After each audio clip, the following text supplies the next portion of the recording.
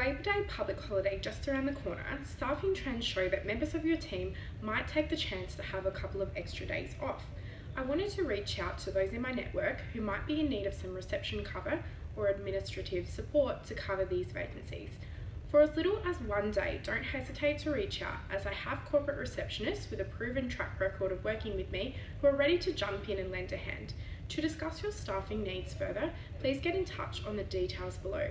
I hope everyone has a safe and relaxing long weekend.